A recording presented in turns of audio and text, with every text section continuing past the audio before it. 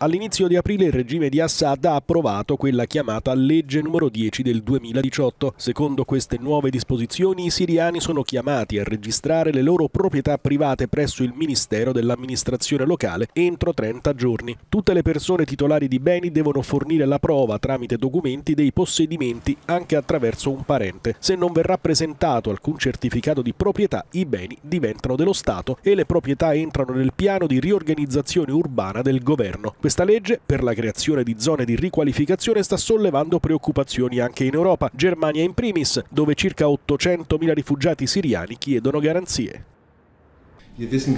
Sappiamo certamente di casi, abbiamo casi individuali e numerose richieste di informazioni presso il nostro ufficio. La gente ci chiede cosa significa, come dobbiamo affrontare questo. È molto difficile stimare quanti siriani potrebbero essere colpiti dal decreto.